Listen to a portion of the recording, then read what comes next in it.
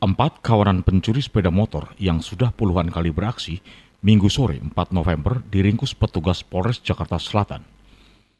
Dari tangan tersangka Suhendar, 28 tahun, Bayu Tirta, 30 tahun, Gunawan, 27 tahun, dan Doni Hendra, 30 tahun, disita dua motor dan satu HP. Humas Polres Jakarta Selatan, Kompol Aswin mengatakan, terungkapnya kasus ini setelah petugas mendapat laporan adanya pencurian motor yang menimpa Agus Irwan pada 14 Oktober lalu.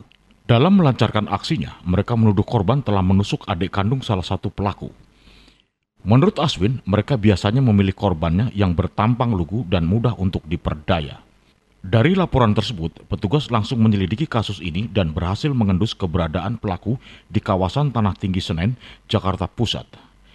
Tanpa perlawanan, mereka digiring ke kantor polisi. Dari Jakarta Selatan, Sutio, Poskota TV melaporkan.